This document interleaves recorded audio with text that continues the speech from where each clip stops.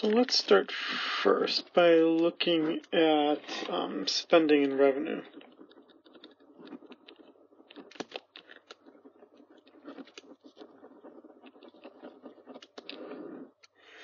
Um, if we start to think about where does the government spend its money, um,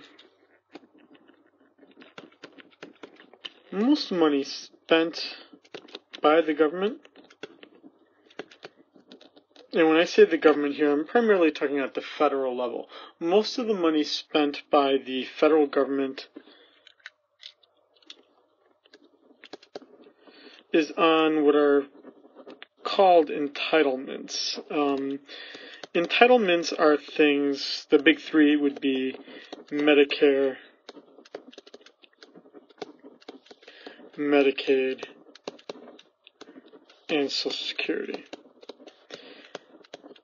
So Medicare is health care for the elderly, Medicaid is health care for the poor, Social Security covers both disability, covers widows and children um, of the deceased, and it also covers those who are retired. Um, all of these together make up almost if I'm not mistaken, about 50% of the entire federal government's budget. Um, so it's quite a big um, chunk. Um, and how much is the government spending? Well, in a year, um, it's approximately four trillion dollars is the budget amount. So this is about two trillion dollars or so. Um, that's a pretty big chunk. Um, you know, and if we start to think about where everything is here, um, about half of it is this, and about half of it is this.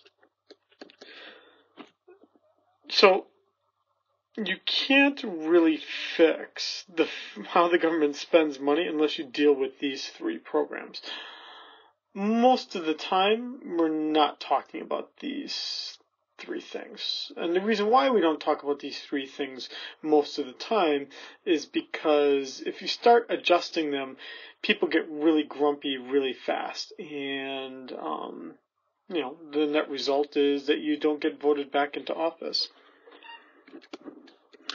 About 16% is the military. Um, that's our kind of our next biggest um, thing.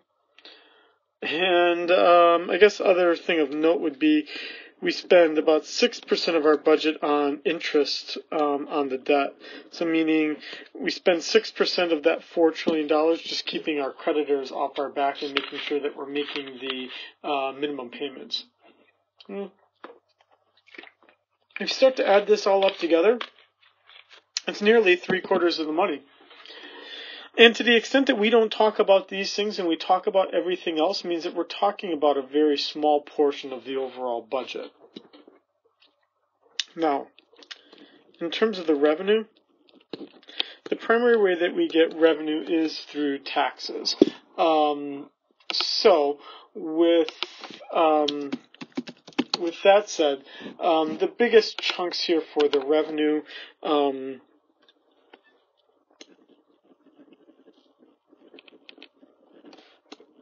big thing would be individual income taxes. That's about 47% of the money. Payroll taxes, which is typically what is called FICA. That's about 33% of the taxes.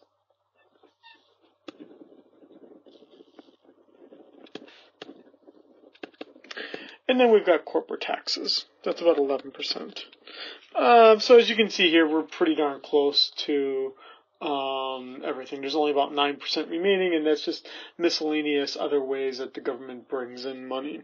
So, uh, tax reform would seem to be pretty important as we're talking about all these things. Um, and to the extent that we um, don't talk about it, then again, we're not talking about how we bring all these things um, into balance. Because together, this brings about our federal budget, as the one side is spending, the other side being the revenue that's brought in through taxes.